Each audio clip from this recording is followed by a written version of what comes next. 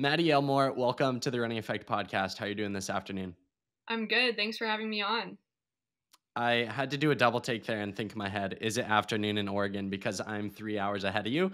I know you grew up in Oregon, but do you have any friends or family that are in different time zones where you're like texting them or calling them and they're like asleep? Um, not really actually. Most of my friends and family are over here, so yeah. That's nice. Yeah, born here, so. Speaking of growing up in Oregon, I believe you actually went to uh, high school in Eugene itself, Yeah. South Eugene High School. What was that like growing up? Were you aware how good Oregon was at running? Yeah, like I grew up going to the old Hayward all the time. Like before I even really started running, I would like go to the Olympic trials with my family and stuff. Um, my parents' house is like we can literally you can hear the announcers from Hayward Field like at my in my backyard. So growing up, like yeah, it was a huge um, thing. And like my dad's from Illinois, and when he came here, it was like when pre was like super big. So yeah, just like I always knew from a young age the history of Oregon track. I have to ask you, Old Hayward or New Hayward? Which one? Well, if I say Old Hayward, I might get in trouble. but I I loved Old Hayward. Like the vibes were just crazy, and that might have just been because I'm younger. But I think from like an athlete perspective, the New Hayward, like just the facilities and amenities we have, like for the athletes, is so much better. So, I mean, I think it was definitely a really big improvement. I think I saw a video the other day. It was like a throwback. It came up on my feed from Bobo of you guys doing a workout on the outer part. It was like Yeah. snowing. How how far around the track is it? And for those who don't know what I'm talking about, it's like not the track itself. It's basically where like spectators would walk in. It's all like yeah, it's like the upper concourse. Yeah, it's actually 400 meters. Like, it's not a full loop, but I thought it was only 300. And Shalane was like, "We're gonna do 400s up there," and I was like, "I don't think it's 400, but it was." And yeah, we did like repeat 400s. It was actually super fun because it went by so fast because you're just like kind of out of your element. But yeah, that was the only time we've done a workout up there, but it was pretty cool. so it's exactly 400 meters. Yeah, yeah. What? That's Yeah, crazy. How does that make sense though? Because isn't it wider around than the yeah, track but itself? since it's not a full loop, like it's kind of like a horseshoe shape. So we would like start at one end and then stop at the other and then go Okay. back. Yeah. Oh, gotcha. Okay, So that makes sense. A full circle. Yeah. Yeah, yeah.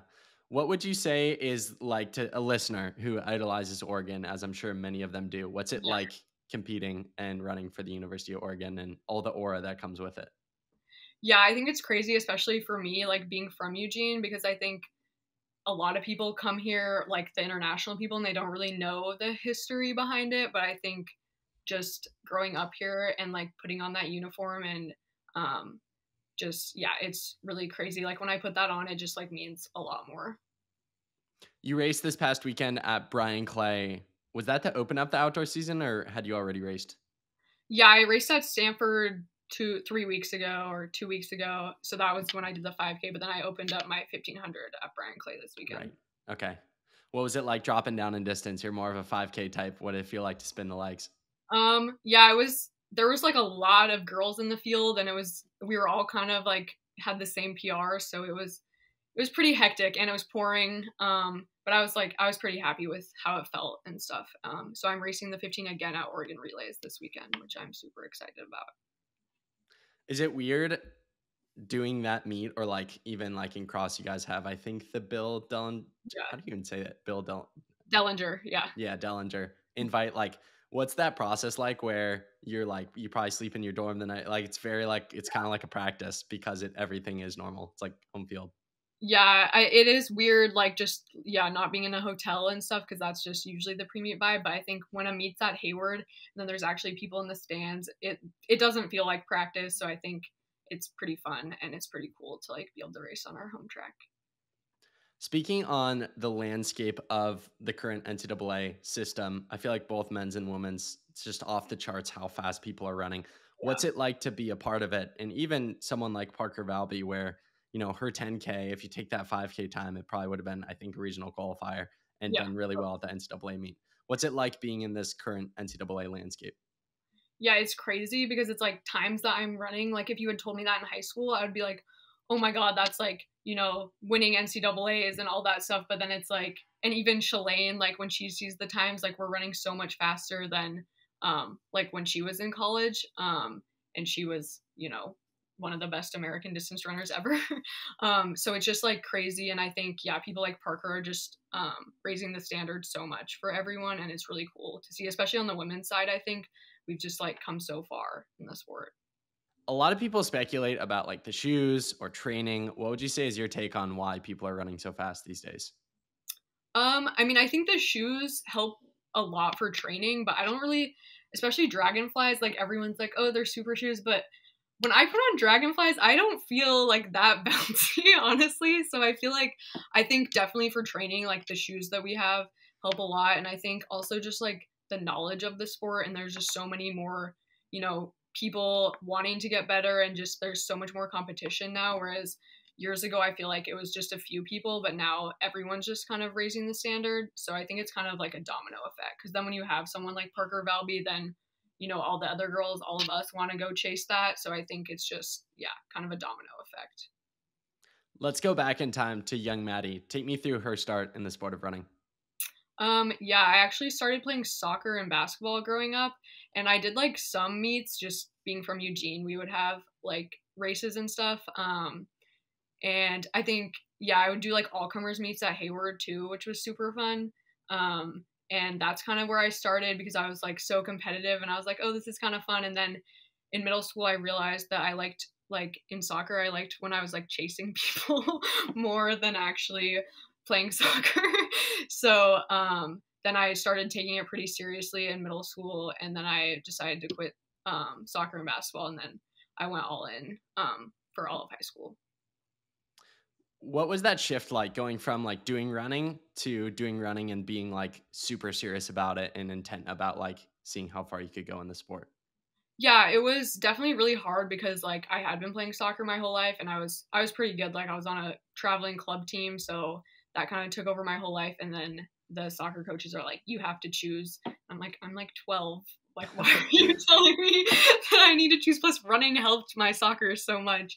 Um but yeah, I think it was it was definitely weird because I didn't really know what I was doing. Like my dad was kind of my coach and he doesn't really know anything about running, so like he would take me to the track and I would like my warm up was like jogging 400 meters and then I would just like start my workout and then I like wouldn't cool down and I was like wearing Roshes. You know what those shoes are? I would run in those. I don't think I've ever heard of them. They're like they're like golf Nike. I don't know. They were like in when I was in middle school, but you should definitely not run in them. So yeah, I think. And then when I got to South, our program was like kind of a historic program in um, Eugene, so I had really good coaches there that kind of helped after that. What was that shift like coming from middle school to high school? I believe your freshman year you did really well at the state meet. I could be wrong on that. What was that like transition like for you from go into that period where you didn't really know what you were doing, but you were like passionate about the sport to still being passionate about the sport, but having more direction and guidance? Yeah, yeah, I got third at state um, my freshman year in the 15, and that was good. But yeah, my eighth grade year, I like I ran 430 in the 1500, so I thought that I was like insanely fast. Like I was like, oh my god, I'm gonna run like 410 in high school, and then I kind of just like went through that transition where yeah, I had more guidance, but um which I was probably doing like the right training. Um but I wasn't running as fast as when I was in 8th grade, so I think that was kind of hard because I was like I didn't really understand like you don't PR every time you step on a track. Um so I think that took a while for me to learn and that's um so now when I see like younger girls or even like freshmen on my team like oh my god what's happening to me? I'm like no you're fine. Like you're not supposed to pr every race. Like at some point you get so fast that it's really hard to match your prs so yeah i think that was it was definitely a hard transition to high school but i think towards the end i definitely got the hang of that. Was there a point in high school or maybe a particular race that you ran very well and you thought oh maybe i can pursue this in college and beyond yeah, um, my junior year, I won state in the 1500, and I'd been like pretty banged up and injured before that. And um, Helen, the Oregon coach, had been like interested in me and talking to me a lot. And then I think after that race, it was like she was like, okay, like yeah, you you can definitely come here. And I think that was like one of my big goals in high school. And I was glad that happened because my senior year got canceled because of COVID. So I was like, okay, I got my state championship. Like that was one of my main goals um, all of high school. So yeah that was definitely the most pivotal race. Did you ever consider not going to Oregon, or has Oregon always been like the landmark dream school? Yeah, it was hard because I did want to leave my hometown, but like on my visit at Oregon, it was when Hayward was being built, and we like got to like go tour it with like hard helmets on and stuff, and just like seeing it, and it was like kind of like why would I leave when um this is here, and I just like yeah, I had built up like a really good relationship with Helen, um, just being from the area and stuff. But I actually, I almost went to UCLA, which seems super random, but I like had always wanted to go there um, just for like school and stuff. But then I realized I was like, I want to take running really seriously. And yeah, now I'm very glad that I chose Oregon. So yeah. You were trying to follow Mia Barnett, just like yeah. I know. I'm like I would have had like four different coaches if I had gone there. Speaking of UCLA and Mia and Dahlia and who am I missing? Sam. Uh, what was it like when you found out they were transferring? Oh, I was so excited. Yeah, this um, summer they were like coming on all their visits, and I was here since I live here. Um, so I was super excited to have them all, and it, it happened so fast because like I'd been racing Mia a bunch in the 15 um, outdoors and kind of got to know her a little bit then. So then when I heard she was coming on a visit, I was like, Shalane, we need to get her. like, um, and then it was awesome that Sam and Dahlia came too. Yeah. As you look back on those high school years, what are some of your fondest memories in the sport as a high schooler? Um, I think South, we have this thing where in August, before everyone like comes back to school, we go on like a team camp trip, and um, my coach would probably be like, "Really, Maddy, this was one of your good memories," because I am not the I don't really like camping that much, and we would like be out there for a week. Um, but it was super fun. Like a great experience. Like you're out there without your phone, you're literally in a tent. Like there were some nights where it was like raining. Um, but I think that's where I like built super close bonds with people on my team. And um, we would do this thing called Big Day, and we would like hike 10 miles up this mountain and then run 10 down. And it was just like, yeah, that was a really good experience. Um, and then also just being on the team with a bunch of pretty good girls was really fun. Not that you're not having fun as a collegiate athlete now, but I think in high school there's so much less pressure to perform and you inevitably are going to have a few teammates who screw around every practice and make things yeah. fun and funny. Do you miss any of the aspects of like the pure nature of high school? Yeah, a little bit because I think high school track and cross country is really different than any sport because there's so many like people and anyone can really do it. Like I remember we would like and it's also weird now because i'm training on the same like trails that i ran on in high school so i have like so many memories from and i just remember like sometimes we'd be running and then my teammates would like go like climb in trees and stuff or we would like jump in the river and i'm like now if we did that like what? Like if someone saw us just jumping in the river off of Pre's Trail like yeah. So i think it's it's really cool being from here and like just being able to run and having like so many different memories from different times in my life. For sure. As we talked about, you go on to run for the University of Oregon. If I'm not mistaken, you redshirt that freshman year. Take me through that year. Um, yeah, my freshman year was really hard for a lot of reasons. That was like the major COVID lockdown year, like when we didn't have cross country. That was when cross country was like in the winter. Um, and yeah, I got injured basically right away, and it was kind of just all of the freshmen were injured, and we were all kind of going through it. I got COVID um, before like the vaccines and stuff. So I got that pretty bad. And I think, yeah, that year was pretty tough for a lot of us. Um, there were six freshmen, and I'm the only one left on the team that year. I think kind of just took everyone out. So um, I think it was really nice being from here because I had my family so close. Um, so I think that helped a lot. What was that next year like, and how did you kind of bounce back from that original setback coming into college? Um, yeah, then my next year, my sophomore year, was also really tough. I like started running again, and it was going pretty well. Um, and then I got another injury that kind of took me out for the whole year again, and that was like, you know, two years of that. That's when I started considering like maybe um, I was starting to think about like what else I could be doing because my parents were like, like it didn't seem like things were going to get that much better and um, the team vibes were definitely not very good and then that summer kind of when the coaching change happened i started running again and then everything. Like I was literally at the point where I was going to walk away from the sport, and then Shalane came, and I was like, okay, I I need to try. Um, so yeah. Is it crazy as you state that, reflecting back on that period and thinking Yeah. if you had thrown in the towel, how much you've accomplished recently? Yeah, it is crazy because I yeah, like thinking of even 2 years ago like where what was going on, I yeah, I think like I had so much support from the training staff, like there were so many setbacks where they could have just been like what is wrong with you? um but they and I think towards that end of that 2 year mark, it was kind of like we were all kind of like okay, like what are we doing here? And that's kind of when that was also mentally happening for me. But then Shalane coming and then me being able to run literally right when she came. Um, and within the first month that she got here, things started really turning around for me. So then, uh, ever since then, it's just been kind of a spiral um, upwards. Yeah. What would be a piece of advice to someone listening who's going through a tough, dark time, wants to give in, wants to throw in the towel? What would you say to them?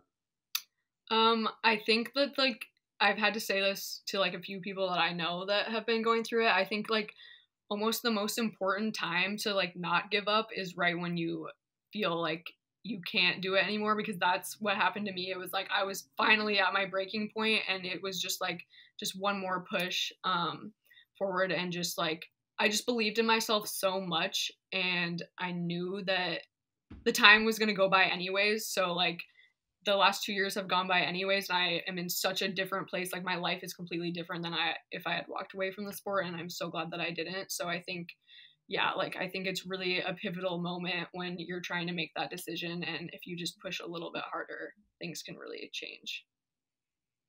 When was the first time you heard the name Shalane Flanagan growing up? um i don't remember. Probably i was probably really young um and i remember getting her and just yeah like i've always had her cookbooks and so when she was announced that she was our coach it was kind of like i was like this is not real Was it a difficult, maybe difficult for lack of a better word, transition from like someone you idolized to someone who was your coach and you were contacting every single day and conversing with and having like a way different relationship than you were used to? Yeah i think it's really funny now to look back on like my relationship with her now versus when i first met her because yeah when i first met her i was kind of like oh my god it's Shalane Flanagan like Shalane Flanagan's texting me like this is crazy.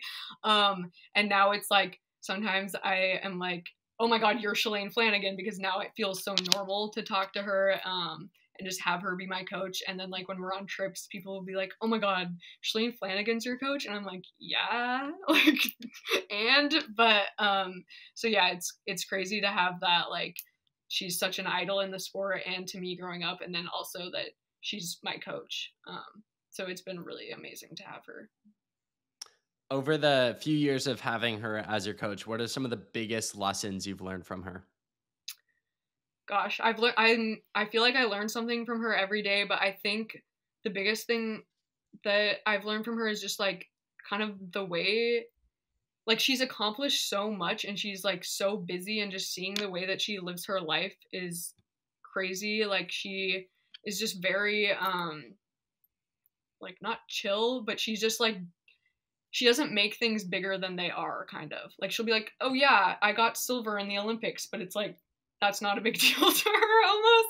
Like i feel like she yeah she's just like so within herself all the time um and she just does so many things and i think she really like makes the most of her life and that's been like super inspiring to me um yeah and she's also like such a big competitor that's really like helped me bring that out um and yeah it's i i definitely learn something from her every day and like i just yeah i feel really lucky to be surrounded by someone of that caliber and to like have her as my mentor As with every single NCAA program, you know, the, the ups and downs inevitably. I feel like Oregon has had a bunch of those over the past few years within their programs. I feel like you're a part of a time in history where they're like on a big upswing and people are crushing records. A lot of that is you. What's it like to be a part of a team that's on the up and up? And specifically, as someone who kind of experienced both sides of it, you know, coming in little bit of a downslope, and then recently you guys are definitely starting to make some noise. yeah yeah it's crazy because i think coming in my first year or two at Oregon, it was kind of sad because like not just me going through it, but the women's distance team was not really like how it was when I was growing up watching them. So it was kind of sad because I was like, I've dreamed of going to Oregon my whole life, and now I'm here, and we're not really on the trajectory that like when I watched like them win the triple crown and stuff like that. So I think it's been really cool because I feel like I'm getting that experience at Oregon that I'd always dreamed of, and it's really cool to like be part of that momentum. Um, and I feel like, yeah, it's I'm just really happy that I'm one of the people that is helping that happen because being from here, like I feel like we just like have a responsibility to kind of get Oregon to the history that we've had before. So yeah. From you chronicling that point where you almost threw in the towel to what you've done recently and all the fast times you've run, what would you say are some of the biggest contributing factors to the turnaround and your recent success? Um, I would say just like the compound of like consistency because like even when I was super injured, it was like I kind of just got in a habit. Like I would just wake up, I cross train, I was just like every day I kind of just got into that habit. And so then when I started running again, I was pretty fit and everyone was like, What? You haven't ran for so long. But like I was working really, really hard when I was injured. So I think just, yeah, that compound effect, like I think actually I saw you like posted that thing yesterday of Jakob that's like everyone sees that overnight success and I kind of it was a little frustrating actually when I started running in because everyone was like oh my god like how did you do this? And I'm like you do not understand how like hard it was for me to get here like how many days and like just it was a lot of time alone too. It was like pretty lonely because I, everyone else was working out and I'm just you know cross training and grinding by myself but I think it was just that consistency over time. And then last year, just getting back into running again and um, compounding, stacking those weeks is kind of where the payoff is now coming from. How much of your success and even like your friend success, teammate success, or just people you uh, admire see in general, do you think comes from the aspects that like the public will never see? Like even like outside of practice, like the sleep, nutrition, like foam rolling before bed, whatever yeah. it might be, like those little things that friends who aren't runners would yeah. never understand because it's not shown, but plays yeah. a massive role. Yeah, I mean, I think that's almost the biggest part of it. And yeah, people don't really understand that at all. Like, and especially like the mental battles that you have. Um, and also just like navigating like little injuries just along the way. Like some days you have to make the smart decision, which is really hard if you, cause like whenever anyone's like, oh, you can run, I'm like, I want to run, but sometimes you know, being smarter. And yeah, I feel like the stuff outside of practice or outside of what people see is really the biggest thing that, um, yeah, that non runners really don't understand at all or can appreciate. What would you say to someone listening who wants to take their running to the next level? They've seen your progression. What would be some words of wisdom for like a high school girl listening who's like, I want to win a state championship in two years, but I'm, you know, maybe the second best runner on my team and yeah. not that great. How do I do it? Yeah, I mean, I would definitely say consistency is the biggest thing and just like I think a lot of people, yeah, they want that overnight success, but in running, it especially like that's really difficult, but like over time you can get so much better. Like I feel like a completely different runner than I was a year ago and that seems not not that long ago, so I think yeah, just focusing on consistency over time and then also really not comparing yourself to other people I think that's like a huge problem now, especially with like Strava, with Instagram and everything, like, and everyone running so fast. I think it can get um, into people's heads, but I think if you're just very within yourself and focus on each day getting a little bit better, you can really like compound that and look back in a year and be like, oh my gosh, like I've come so far. Lose my train of thought again. What was I going to say? Oh, okay. I was going to cover the indoor season. Um, it's like that time of day where I'm like yeah. dozing off also, today was like unusually Ohio has been really sunny recently, and I was in the sun a good amount. Yeah. I forgot how much you get tired being in the sun. Yeah, like it like drains know, you. It zaps you. Yeah, yeah, totally. Anyways, Maddy, I'd love to go through this past indoor season. I feel like that's when I started to hear your name more, recognize you more. You started to make some noise in the running world. Take me through that indoor season for you. Yeah, I mean, it started out really, really good in Boston because I ran out that first December meet, and that's when I ran 850 and broke the school record. So I was like, um, super happy with that because I had come off kind of a disappointing NCAA cross meet. Um, and then I feel like after that meet, I yeah, like I ran fast in the mile, but it was nothing like overwhelming because everyone was running like sub 430. Um, and then yeah, I feel like I was kind of disappointed with the indoor season a little bit because then I got to nationals um, and I got eighth, which I wanted to do a lot better. And I just felt like after the race, I was kind of um, just.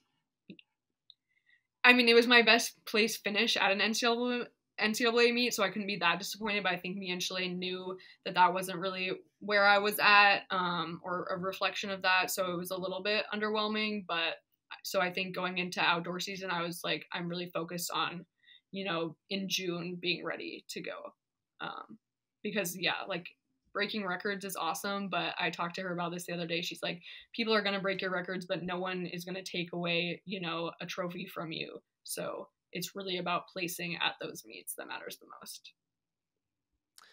I'd love to talk about that kind of balance between like you make an NCAA meet, placing the highest finish you ever have, and still walking away disappointed because you knew you could do so much more through training, through other races. What's that kind of balance between like wanting to cherish these moments that are few and far between and looking back one day, like you'll probably cherish more than you do in the moment, while also yeah. having the realization that like no i am better than this so i'm not i'm not that happy yeah. and i'm not going to celebrate it too much yeah i think it that's been something i've really struggled with in the past like year and a half because when i last year especially it was just like i was so happy to be running again that it was kind of like every race was like oh my god that's amazing and so i think I wasn't as like competitive as I like when I grew up, like growing up and in high school, like I would want to win everything. Like I was super competitive, but last year was kind of like, yay, like oh my god, I'm like overperforming for what people expected. Um and so it's been a weird transition I think for me to be like, okay, yeah, this is like amazing. This is my highest finish and I should be happy with that, but then also now I feel like I'm getting to the point where like I don't want to be or I don't want to see myself as that anymore. Like, yes, I have overcome a lot to get here, but also like I think now at this point it's like, okay, I want to be one of the best girls in the NCAA. So I really like I think and at my Stanford meet two weeks ago, that was the first collegiate race I actually won. So I think getting that feeling of winning back was like kind of a pivotal point for me. And I talked to her about that after the race. So now I'm like, okay, like I'm hungry to like compete and um not just walk away and be like, okay, that was like good because of all this stuff that's happened to me. So yeah, I think that has been like the biggest mental challenge that I've dealt with probably.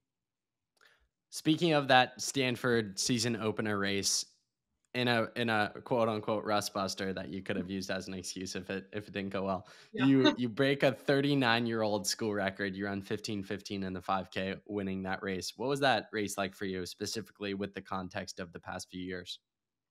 yeah, that that race was crazy because before it was like pouring kind of and it was just me and my teammate Annika Thompson at that meet and Shalane mm-hmm. looked at us and was like, just get a regional qualifier, like, you know, kind of no pressure. But then I saw the other heats and they were running pretty fast. Well, actually the funniest thing about that meet is when we got the heat sheets out, I was actually in the third heat and like two days before the race, I was like, Shalane, what? Because my 5K PR was not good, but it shouldn't have put me in that heat anyways. so we were like, what? And so then even the day before, I didn't know what heat I was going to be. And I was like, I don't really want to run in the third heat, but I was also like, okay, if I'm in the third heat, I'm just gonna Parker Valby it. Like she she runs alone all the time. Like it's not an excuse. Um, and then right before the race, I check in and they're like, no, you're in heat two and heat two was going off in like 30 minutes and i just got into the track and i was like i can't race in heat two like what and so then our um one of our staff members like got me into heat one and i was like okay. So then after i finished the race i was like i literally won and they tried to put me in heat three. Like put some respect on my name. Um, i said that to bobo and he was like i can't put that in a video. But um so yeah that race was pretty crazy because i didn't really know what to expect. I'd only really ran the 5k like one time before at bryan clay last year which did not go well at all. So um i felt super good in the race and i think there was like one point where i felt so good that I literally wanted to look at Shalane and I was gonna I was literally like I'm winning this race like and I think that was probably also a pivotal moment for me because I haven't like had those thoughts in a race before since I've just been almost going through the motion so I think getting that like competitive edge back where I was like okay like I'm gonna win this race like I don't care what happens um was huge for me yeah. Quoting you here legendary quote. I'm tempted to make it the, like the quote for the graphic, but I feel like some people would take it out of context. Uh, you said, you know, they tried to put me in Heat three. I won the whole thing. Like, put some respect on my name. Do you feel like you have a chip on your shoulder in general, but this season particularly? Um, I feel like I did before, and now less. I don't know because I feel like before it was like yeah no one really knew who i was and then like the people who did know me were like wow like you're definitely overperforming for you know just the people who had seen how bad things were going for me i think are kind of shocked at what's happening now. So i don't know but yeah i definitely think um i do think some of my PRs were like I mean my 15 uh, my 5k was like 1610 before the 1515 so I'm like I understand why people weren't expecting that much.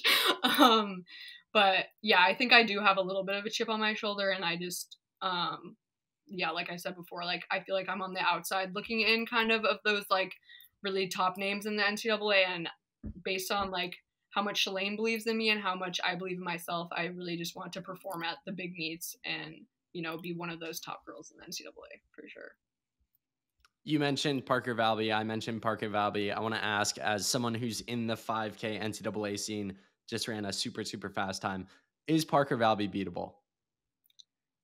Uh, after I saw her run that 10K out of, she closed in 1520. That was pretty incredible. I think I, I don't know. I think she, she's just like such a incredible like and pivotal person in the sport right now and i think like i think she can run in the 1540s for sure. Um so i mean 1440s um so i think she can run know. the 1540s too. Well yeah she can jog in the 1540s um right now i would say no i don't think she's i think she's like at a different level that we're all kind of trying to catch up to but i think that's like super fun and is just I think we'll every other girl in the NCAA is going to run faster because of Parker Valby. So we'll see. yeah. As someone who is a Parker fan and knows her a little bit from having her on the podcast, I agree with what you're saying, but also my rebuttal would be everyone said the same thing about Katelyn Tuohy last year, and she lost the 15 and didn't even run the 5K. So. I think a lot can happen in yeah. a two month span. So I'm not saying I'd bet on someone else, but I am saying that uh, big things happen and yeah. you never know what's going to happen. And that's what makes NCAA titles, I think, so special is the fact yeah. that like they're hard. They're never given. You never know. I think, yeah, if Shalane heard me say that, she would definitely be like that. Don't count yourself out of anything. Like anything can happen, especially in an NCAA race because it's, you know, it's not paced. Like, yeah. So going into it, I'm not going to we'll see. We'll have to make it to NCAA's first. So, talking about the rest of your season, what are your ambitions for the rest of the 2024 outdoor season? Yeah, so I think, um, yeah, definitely getting my 1500 PR down this weekend at Oregon Relays is a big goal, and then we'll see what event I focus on, but I'm definitely leaning towards the 5K, and then, um, yeah, I want to score some big points for our team, especially since I don't feel very good about my last two NCAA showings. Um, and then with that being at home, that means a lot more for us. And then the Olympic trials are a big goal for me because, yeah, growing up in Eugene, going to the Olympic trials, like, I just remember like idolizing the people there. So, um, you know, getting to race there would be insane and just doing as well as I can there um, for sure. And definitely, my teammate also just ran 15 15 in the 5K. So, um, I think we're going to try to get that record down a little more for sure. Maddy, final serious question for you to wrap up our conversation today. You've given wisdom on a few subjects, but being vague enough here, and you can take this whatever yeah. direction you want to. For those who have listened to our conversation today, what would be the final takeaway message you want to leave with them? Um, I think the biggest takeaway from my story, I think, would yeah, just to this sounds so cliche, but to never stop believing in yourself because there were like there were so many times and there were so many reasons for me to walk away from the sport, but at the end of the day like I love running so much and I just knew that I couldn't imagine my life without it and I like didn't really know who I would be without it that I just had this inner belief in myself when not that many other people, you know, would have thought that I could get here. So I think just really focusing on yourself and not looking at everything that's going on around you and I think that you can be really surprised by what can happen when you just like work really hard and compound that over time because my the thing that i would always tell myself is like the time's going to pass by anyway so in 2 years from now i would much rather be you know here where i'm at than if i had walked away from the sport so yeah Maddy, final question for you to wrap up our conversation today. The question I ask every single guest on every single episode. If you had Gordon Ramsay coming over to your house for dinner, what would you choose to make for him? What would I make for him? Yeah, you're in the kitchen. You're you're cooking for Gordon. Um, what's the meal of choice? Well, my roommates know this. I eat like sweet potatoes every day. It's like my favorite food. So I'd probably make him sweet potato fries, salmon, and some nice vegetable stir fry. That's what mm. I make. Sounds like right out of Shalane's cookbook. So I'm sure you'd be happy. Maddy, really appreciate our conversation today. Thank you for sharing your story and all the guidance and wisdom you provided to the audience today. Looking forward to seeing you crush it. Hopefully, hanging on to that record, lowering yes. it, and doing really well this season. Thank you for the conversation. Thank you. Yeah, thanks for so much for having me on. It was fun.